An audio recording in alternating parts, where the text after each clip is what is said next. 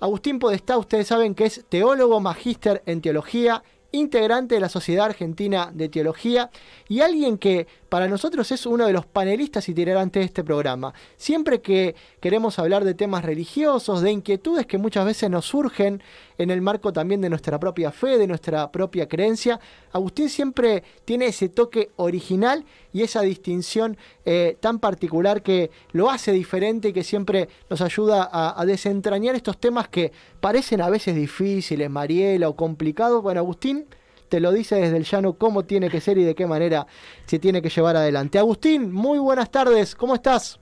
Buenas tardes, muy bien. ¿Ustedes cómo andan? Felicidades por, por la vuelta. ¿eh? Muchas gracias. Por la vuelta, que alegría escucharlos en vivo. Estamos, estamos muy contentos de, estar acá y estamos muy animados, Agustín. Así que con muchas ganas de hablar. Muchas gracias, muchas gracias. Sí, también, si me permitís, de hecho, también mando un saludo a todos los enfermeros y enfermeras eh, del país en su día y también pueden venir a estudiar enfermería a la escuela de Alpi. Ahí va, ahí va. hago publicidad para la escuela. Está muy bien. Muy bien. Y pará, para, para, para que sepan, porque mucha gente no conoce Alpi, contanos un poquito qué es Alpi y de qué manera se pueden contactar con Alpi. Bien, Alpi es una ONG de rehabilitación de discapacidad motora, existe hace 70 años, surgió en el contexto de la polio, muy posiblemente eh, las generaciones más jóvenes no lo conocemos quizás, pero nuestros padres, nuestros abuelos ciertamente, eh, que bueno, tiene la clínica de rehabilitación y hace 30 años también funciona una escuela terciaria, carreras terciarias. Bien. Donde tenemos carreras para personas, eh, las carreras son abiertas, son los mismos planes que el resto de planes de estudio de, de otras escuelas privadas de la capital, pero nos dedicamos especialmente a personas con discapacidad en algunas carreras, tenemos intérprete de lengua de señas y demás, y después tenemos eh, las carreras de enfermería e instrumentación quirúrgica eh, a precios sumamente accesibles, porque la idea es hacer algo más social que lucrativo. Además, con la educación no se lucra, pero bueno, no importa, no eh, tenemos una beta social muy importante. Así que bueno, los invito a, a conocernos. Eh, pueden poner EMAE. Eh, EMAE es la, la, escuela, pero ponen Alpi y ahí en la parte de EMAE está la escuela y ahí está toda la información. Ya abrimos las inscripciones para el 2021. Bien, Agustín, les contamos que también, aparte de todos los títulos y honores que, que mencioné, también es una autoridad aquí de, de, Alpi. Así que está bueno que si vos querés estudiar enfermería, bueno, tengas como opción también a Alpi que te da una educación de calidad y también accesible. Y también les recomiendo a quien tenga inquietudes de fe, y de creencias que entren a Hablemos de Teología, que en épocas de pandemia ha cumplido un rol muy importante, Agustín, también. Sí, sí, bueno, eh, algo que, que me parece que había que salir a decir desde, desde la reflexión de la fe, ¿no? Porque, bueno, mucho se hablaba en el contexto de la pandemia sobre el lugar de Dios en, en la pandemia, de, de, de mucho se hablaba de, ¿no? Mucha gente lo, lo planteaba como un castigo, como, bueno, eh, muchas interpretaciones varias, ¿no? ¿Dónde está Dios en, en, la pandemia? ¿En dónde lo ubicamos a Dios en todo esto? Bueno, y creo que, que, que sí, que la, la, cuestión de la fe es sumamente eh, importante en, en, en, la vida, sobre todo en los momentos complejos, ¿no? Como el que nos tocó, como el que nos toca vivir, porque en realidad todavía estamos, ¿no? Mm. Atravesando esta, esta pandemia espantosa, este virus horrible. Eh, y bueno, y cuál es nuestro nuestro nuestro lugar frente a eso y qué palabra podemos decir desde la fe. A mí me parece que es muy importante. Agustín, se viene, vamos a arrancar con un tema que venimos hablando recién con la gente de Andud y de eh, Cadena Argentina, que tiene que ver con la Navidad, uno de los temas de los que queríamos hablar en este día tan especial. Se viene un, tiempo ahora de introspección previo a la Navidad, eh, es un tiempo que, los cristianos viven eh, puntualmente, que veremos ahora de qué manera se vivirá en estos tiempos pandémicos, pero me gustaría que me cuentes un poco cuál es el tiempo que se viene ahora previo a la Navidad y cuál es el origen, ¿no? ¿Por qué, por qué los cristianos celebran este, este tiempo de introspección? Que no quiero dar mucho dato para que vos lo expliques de, de una manera más elocuente. Bueno, el adviento, la palabra adviento viene de advenimiento, o sea, lo que está por venir, lo que está por suceder, eh, de aquello que está por, por acontecer. Eh, en este sentido, la, tanto la, la antes de la Navidad como antes de la Pascua, que en realidad siempre no nos olvidemos que la fiesta más importante es la Pascua. Para los cristianos es la Pascua, no la Navidad es más marketinera, no más más marketinera, más más de consumismo, ¿no? Porque salimos desenfrenados a comprar y ese tipo de cosas. Eh, pero en realidad la fiesta importante, verdaderamente importante, es la resurrección, la Pascua. Eh, esto me parece que es, que es importante. La Navidad eh, también tiene, como lo tiene la Pascua, eso iba, un periodo previo, como es la cuaresma en Pascua, eh, que es un periodo también donde nos preparamos para vivir, eh, para vivir una fiesta. A mí esto me gusta compararlo muchas veces porque nos preguntamos, ¿no? Bueno, eh, cuando tenemos que organizar una fiesta importante siempre le, dedicamos mucha preparación, ¿no? organizamos el casamiento, el cumpleaños de 15, algún cumpleaños, le dedicamos mucha preparación, ¿no? Hasta nos vestimos, ¿no? Mandamos a comprar ropa, tal. Bueno, eh, con las fiestas religiosas no hacemos lo mismo. Entonces eh, el, el Adviento y la Cuaresma y demás son momentos importantes para prepararnos en ese sentido, ¿no? No materialmente, porque lo material es consumista, bueno, vemos lo más importante es, el, corazón, ¿no? Preparar el corazón, prepararnos eh, integralmente para, eh, para eso que estamos por vivir. Eh, y bueno, en estos domingos, de hecho, también es importante reflexionar sobre eso, ¿no? En los domingos de Adviento, lo que se reflexiona es sobre el misterio de la encarnación, que es propiamente lo que celebramos en la Navidad, ¿no? Generalmente en la Navidad nos quedamos en, en, en, el, en el pesebre y ya está, pero es muchísimo más profundo. El, el, quiero decir, el pesebre está muy bien, pero no es que eh, vemos el pesebre y en eso vemos un niño solamente, un bebé recién nacido. Lo que vemos es el misterio de Dios que se hace ser humano, el misterio de Dios que se hace próximo, ¿no? Eh, frente a otros dioses que se mantienen alejados, que no tienen nada que ver con el ser humano, que son vengativos, que son complicados, que son jodidos, eh, el Dios de, de Jesucristo es cercano, es próximo, es un ser humano, ¿no? Conoce nuestra realidad humana porque él también fue ser humano. Bueno, esta complejidad, esta hondura en el misterio de Dios lo vivimos en, en el pesebre, ¿no? Lo vemos en, muy claro en el pesebre. Por eso la fiesta del Adviento, a eso iba, es una preparación en este sentido, ¿no? Cuando escuchamos las lecturas de los domingos del Adviento, lo que tenemos que pensar es que no estamos viendo, ah, a ver cómo van a llegar los pastores al, al pesebre, que son muy importantes, y, por supuesto que lo son. Pero quiero decir, en los domingos previos lo que contemplamos es el misterio de la encarnación, ¿no? Es Dios que se hace ser humano, que se hace prójimo, ¿no? Que se hace el otro. Pensaba un poco en lo que estabas eh, recién mencionando, Agustín. Eh, es un tiempo eh, muy especial que, mucha gente por ahí tiene una preparación. En un tiempo no pandémico por ahí tenía cierta lógica, ¿no? y se manejaba con cierta logística. Pero ahora es un tiempo muy especial donde mucha gente, si bien hoy en día se han eh, flexibilizado las restricciones de asistencia a lugares religiosos, mucha gente opta por no ir, por seguir eh, ciertas celebraciones cristianas por ahí desde, desde su casa. Eh, ¿De qué manera podemos celebrar, si se puede o tenés alguna idea, este tiempo de Adviento desde nuestra casa? ¿no? ¿Cuáles serían por ahí los pilares fundamentales para poder vivir este tiempo previo a la Navidad?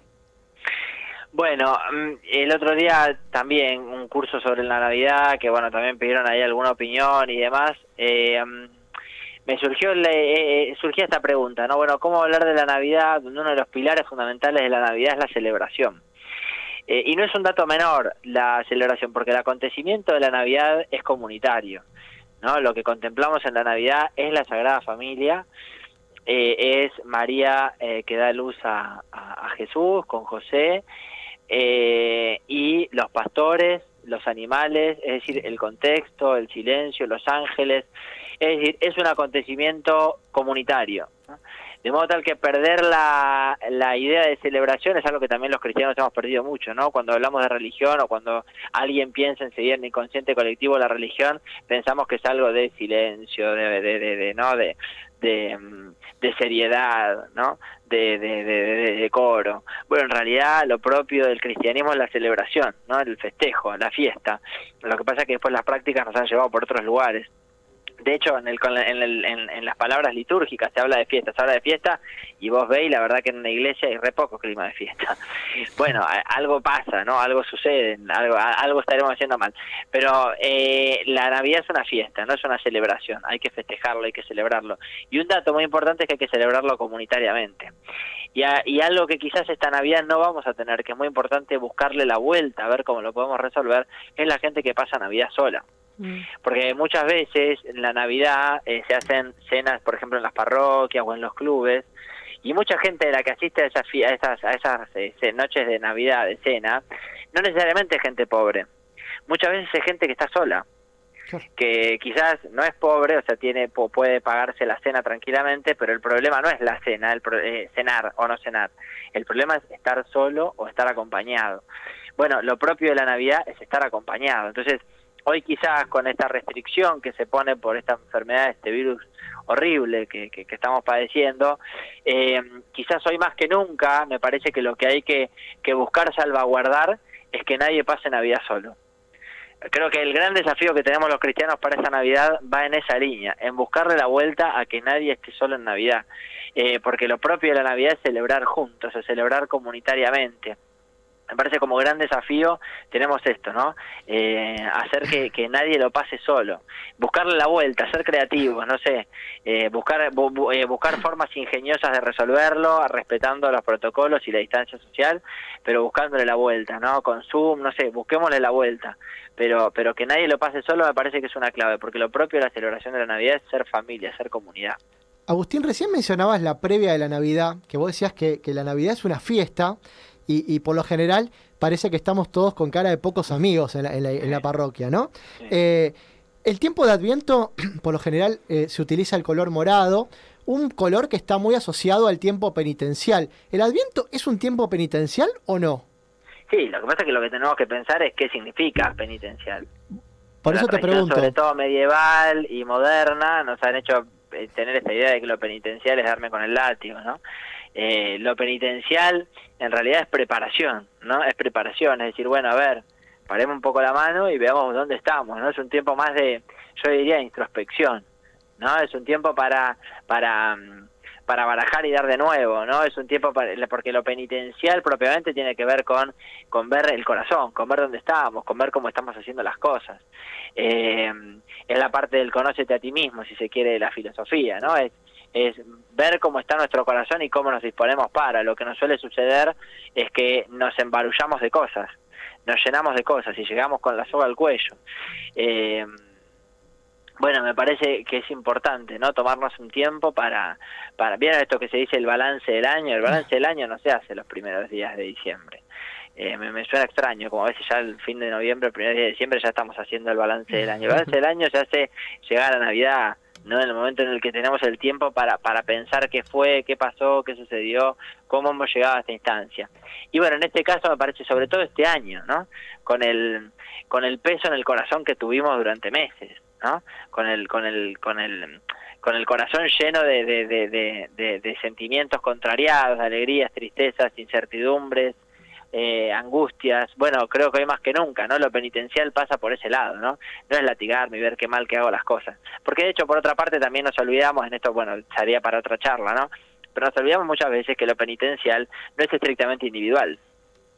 Lamentablemente, la tradición eh, sacramental de lo penitencial nos ha hecho ver que lo penitencial es individual, porque la sacramentalidad de la penitencia, de la, de la reconciliación, es individual. Pero no siempre fue así. De hecho, en los primeros siglos de la Iglesia la penitencia era pública, era comunitaria, porque no, se hacía tanto hincapié en qué malo que soy, qué mal que hago las cosas, mira cómo me latigo. Eh, sino es de qué forma podemos aprender a vivir mejor. Quizás Fratelli Tutti es una línea que va a mejorar un poco esta idea, ¿no? Pero es interesante porque hay gente que está desde la teología trabajando en estas cosas, ¿no? Eh, porque hay planteos que son comunitarios, de hecho hay pecados sociales, hay pecados eh, estructurales que son sociales, y por ese pecado nadie expía su culpa individual. Bueno, eso sería otra charla más compleja, ¿no? Sobre el tema sacramental de la reconciliación. Pero, pero bueno, invitaría a caminar en esa línea, ¿no? En lo penitencial que decir, decir, bueno, eh, ojo, que, entendemos por penitencial? Agus, en este tiempo de reflexión, ¿no? Que, que, mm, seguramente todos estamos este, conmovidos por, por el contexto, la pandemia, el aislamiento, eh, las cosas que nos tocó eh, sobrellevar. Eh, también como cosas como prácticas, ¿no? Eh, nos obligó de alguna manera a, mirarnos y quizás encontrar cosas que no nos gustó, ¿no? es el desafío también de la introspección. ¿Vos qué cosas nos recomendás como tips prácticos para llegar a Navidad con un corazón un poquito más puro? Bueno, eh, muy buena pregunta. En, al principio en la cuarentena, cuando surgió esta cuarentena muy fuerte, eh, muchas veces decíamos nos sentimos como en una especie como de, retiro de silencio, ¿no? Porque aunque estemos acompañados en casa, eh, igual tenemos mucho tiempo para estar en silencio, eh, o mucho tiempo para estar con nosotros mismos, aunque estemos acompañados en casa y vivamos con otras personas. bueno, es interesante, ¿no? A mí algo que parece interesante es no desaprovecharlo. Eh, y, y, los tiempos de conflictos también hay que superarlos, digamos. Los, conflictos no hay que suprimirlos, sino que hay que superarlos, que es otra la actitud. Eh, el conflicto hay que afrontarlo, el conflicto por sí no es malo. Eh, en este sentido me parece que uno descubre eh, dentro suyo un montón de cosas.